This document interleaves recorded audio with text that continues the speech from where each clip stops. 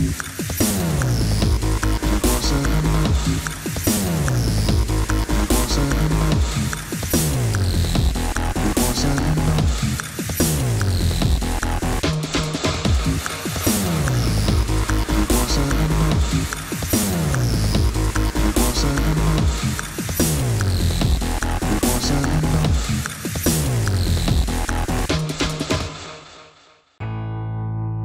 Bienvenidos a Evasión, bienvenidos al mundo de los deportes outdoor. Nos vamos a descubrir la magia del Pirineo de Huesca de la mano de tres esquiadoras y apasionadas de la nieve, como son Miriam Marco, Sandra Fanlo y Mireia Miró.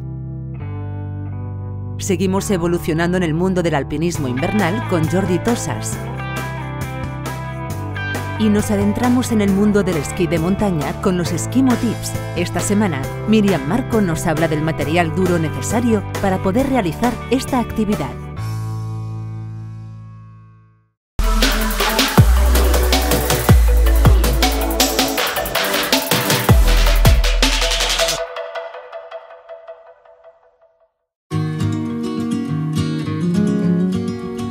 El esquí no entiende de género, solo entiende de pasión. En el Pirineo de Huesca se encuentran a lo largo de dos jornadas tres mujeres que llevan la nieve en la sangre. Miriam Marco, la primera mujer de nuestro país, guía de alta montaña UIAGM. Sandra Fanlo, excorredora y técnico deportivo superior de esquí alpino nivel 3. Y Mireia Miró, que fue campeona del mundo de esquí de montaña y es todo un referente a nivel mundial. Más allá de sus logros, estas tres esquiadoras disfrutan de la nieve, del frío que el paisaje compensa y de la sensación de libertad que genera deslizarse encima de unos esquís. La magia de las montañas de Huesca alberga el tesoro que las une. Miriam Marco y Mireia Miró atacan esta primera jornada con un reto muy alpino. Hoy con Mireia Miró iremos a, la canal suroeste de la, de la montañeta, que es una montaña que hay mm, en el Valle de Gorgutes, camino hacia el Puerto la Glera, que es uno de los pasos naturales a Francia. Y es una canal como de iniciación al esquí de pendiente, ¿no? Y pues una actividad súper chula. Nosotros subiremos y bajaremos por la misma canal, la canal suroeste, que tiene una pendiente creo que así no máximo de 45 grados de pendiente y que como estos días el viento ha soplado, ha soplado así de como de, de sur, suroeste, eh, yo creo que va a estar en unas condiciones muy buenas. Para mí, Mireia Miró, que ha sido un referente en, el esquí de montaña ¿no? para todas las mujeres, siempre ha sido una persona que he admirado muchísimo, no solamente en el esquí de montaña, ¿no? que fue campeona del mundo, sino también por todas las actividades que hace ¿no? y que ha hecho en la, en la montaña. Cuando tienes la suerte de poder tener una jornada en tu valle con una de, las personas a las que admiras mucho, es, es una suerte, ¿no? Y, y, sobre todo poderla llevar a, a enseñarle mi patio de juego, ¿no? Nos lo vamos a pasar súper bien.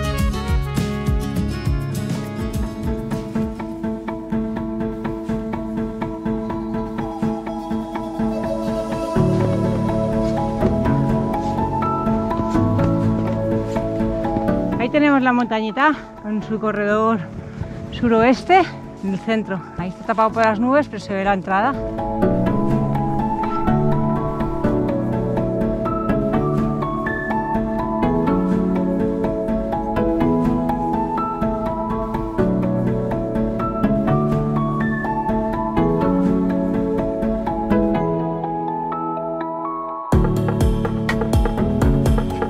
Ahora hace dos o tres años que estaba viviendo en Barcelona y no hacía casi nada de deporte, para no decir nada. Y cuando me propusieron venir aquí, la verdad es que al principio tenía, sentía bastante respeto, ¿no? Por ver si podía aguantar las jornadas, si podía aguantar las actividades que, que se proponían.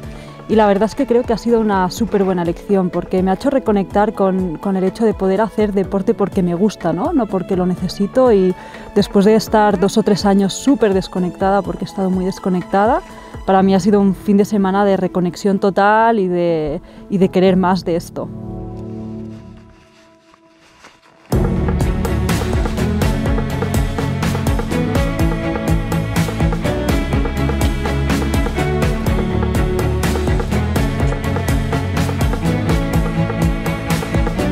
tanto subiendo la canal como bajando, ha sido como que ha ido cada vez a más, ¿no? Cada vez nos hemos ido como animando más y viendo que la situación era cada vez más buena, mejores condiciones de nieve, mejor se despejaba el día, ¿no? Entonces ha sido como, ha sido como una, una jornada en, en subida.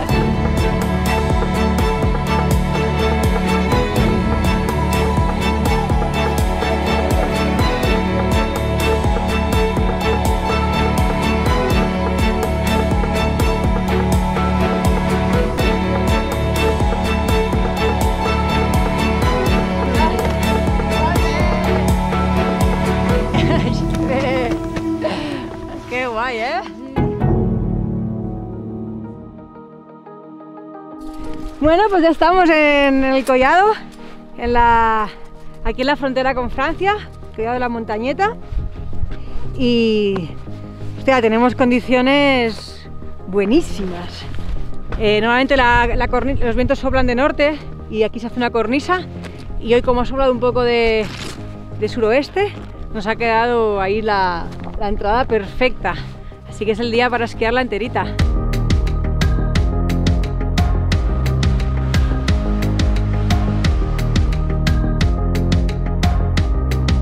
Sido derrapar un metro y medio y empezamos a, dar giros porque la nieve estaba muy buena.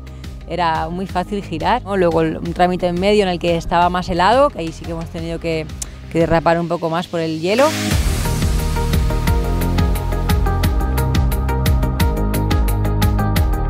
tanto en Mireia como en mí creo que hemos ido aumentando esa sensación de, confianza.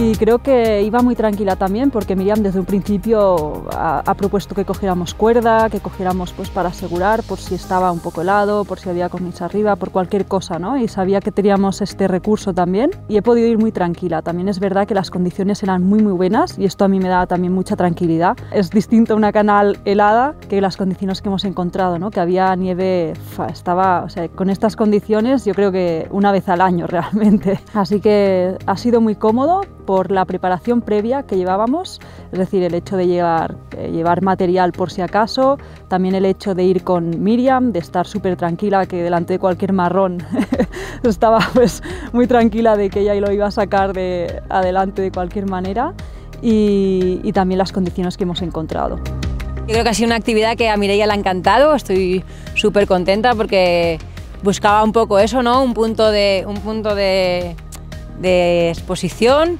pero con seguridad, así que estoy muy contenta y creo que, creo que Mireia la ha disfrutado un montón.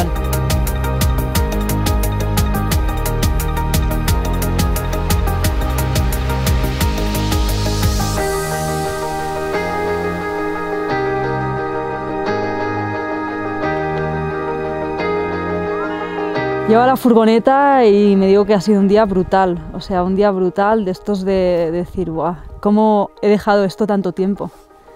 Y de esto también de, y de decir de, de me doy cuenta que ahora ya no lo puedo hacer no porque lo necesite, porque me he pasado tres años sin hacer deporte, lo puedo hacer porque me gusta, ¿no? Y este tipo de actividad ha sido con reconectar realmente con lo que a mí me gusta, de el abrir huella, el, el que haya una parte técnica, el pues eh, todo, ¿no? Todo en sí es, para mí es la actividad perfecta. Hoy hemos hecho 5.830 pasos. Bueno, está bien, ¿no? está bien, sí. Tenemos que hacer muchas de estas, ¿eh? A ver. Muchísimas. a ver mañana cuando venga Sandra, a ver cómo encontramos los bosques, ¿eh? Pero Ya, si está un poco como hoy, va a estar súper Sí. fenomenal. vamos a gozar. Sí, sí. Muy bien. Pues a dormir o qué? Sí, ya ha sido un- sí, ya suficiente, ¿no? Sí, Hoy. un día largo. Sí. Bueno, buenas noches.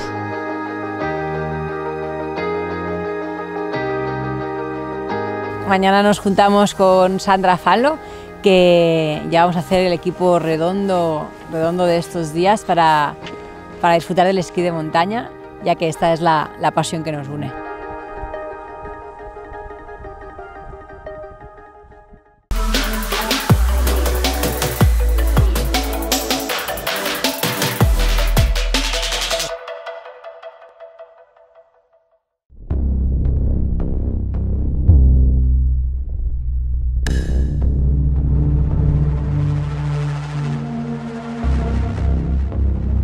Bienvenidos a este segundo episodio de Evolution. Vamos a intentar introducirnos en el uso de la cuerda, que va a ser el elemento que va a poder detener una caída en caso de que esta suceda. Para utilizar la cuerda necesitamos siempre tener un arnés. Ya lo sumamos a esos crampones que habíamos visto y a ese piolé que teníamos en la mano. Y como no, lo estáis viendo, el casco. El casco es muy importante siempre llevarlo puesto, ya no solo por lo que nos pueda caer en cualquier tipo de ladera o de pared, sino porque un golpe cuando yo me caigo ah, no puedo controlar ni dónde ni cómo me lo voy a dar. Para poder encordarnos necesitamos aprender un nudo y eh, básicamente con ese nudo casi casi podríamos hacer todos los encordamientos que hay en la montaña. Vamos a utilizar el que todas las escuelas uh, utilizamos, el que todos los escaladores utilizan para atar esa cuerda al arnés. Ese nudo de unión lo llamamos 8 y es eh, un nudo, vamos a decir, que es muy fácil de aprender y es muy difícil equivocarnos haciéndolo. Esto es una, una, característica básica de los nudos, que nos sea muy fácil de hacer y que sea muy difícil equivocarnos.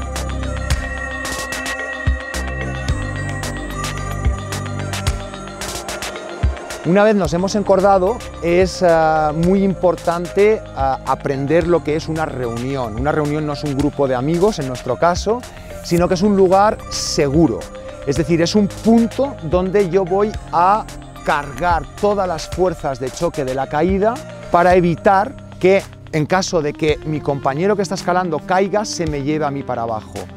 La reunión en la nieve es la más delicada de montar porque la nieve sabéis que es un elemento en la montaña que no tiene la solidez de la roca o la solidez del hielo. Para montarla, la técnica eh, se tiene que aprender bien, pero os la vamos a mostrar. Básicamente es colocar, hacer un agujero, le llamamos la T, ¿vale? Porque tiene una zanja para poner el piole y un regatón para sacar la, cinta que va a estar atada a ese piole vamos a compactar esa nieve donde hemos enterrado el piolé, a esto le llamamos un hombre muerto nosotros, el dead man en inglés, y aquí nos vamos a atar. Para reforzar la, fuerza que va a hacer ese piole, lo que vamos también es a complementarlo con una bañera, que es un pequeño agujero, un pequeño sofá que hacemos en la nieve, donde el primer impacto que va a recibir el asegurador va a poder retenerlo con esa nieve donde está sentado y finalmente va a trasladar la fuerza de choque restante al piolé que está enterrado. Entonces generamos un sistema más o menos dinámico, es decir, donde vamos a perder energía y un sistema muy seguro para que esa cordada pueda parar la caída del escalador y sea capaz de, ah, de hacerlo con seguridad. Habiendo visto cómo funciona la seguridad de la cordada en subida, ahora vamos a mostraros cómo sería la seguridad en bajada y vamos a introducir el concepto o la maniobra del rappel. El rappel es sencillamente pasar la cuerda por un punto fijo que podría ser una reunión que vamos a abandonar, nos aconsejo abandonar el piolé porque cuesta mucho, mucho dinero. Podríamos abandonar una piedra enterrada en vez de un piolé, por ejemplo, un trozo de madera o utilizar una instalación que podamos encontrar en la roca.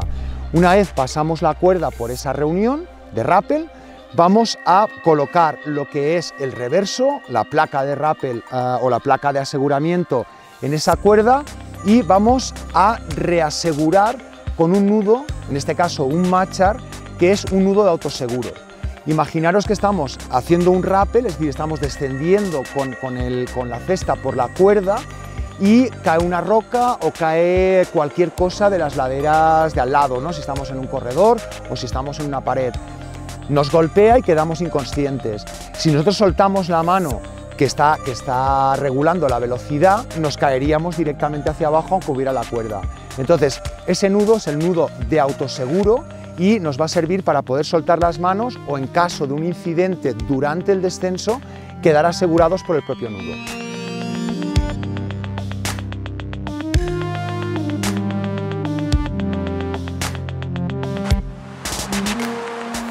Bueno, habiéndoos mostrado hoy el uso de las cuerdas y el rappel y ya conocíamos del anterior episodio el uso de los crampones y el piole, ya estamos listos para progresar en el terreno mixto que va a ser en el siguiente episodio. Nos vemos.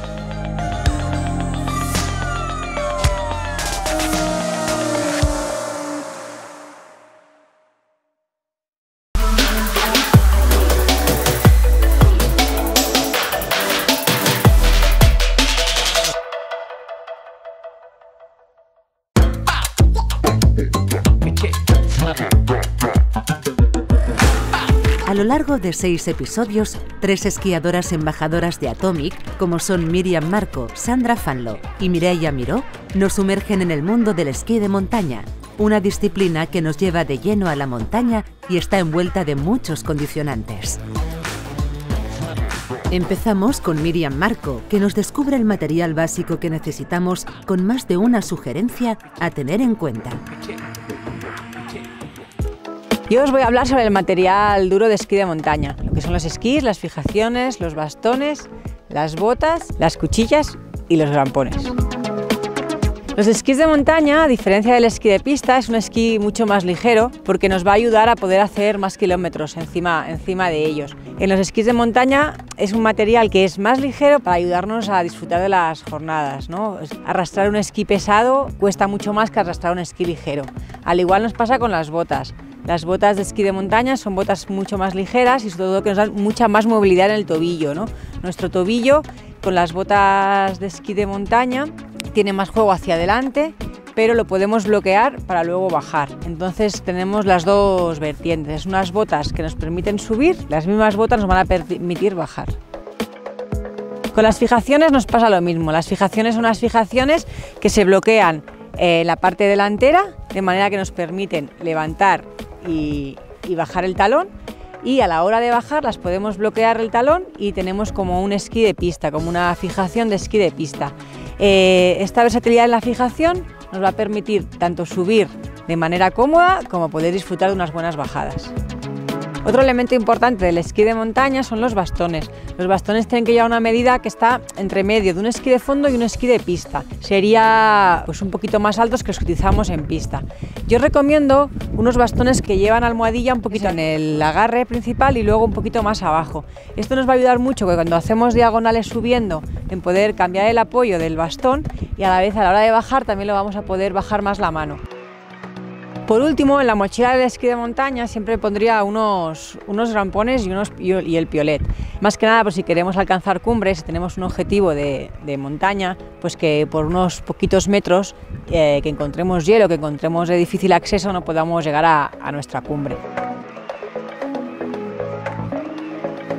En conclusión, el material de esquí de montaña es un material que nos va a ayudar a deslizarnos hacia arriba y a disfrutar de una buena bajada.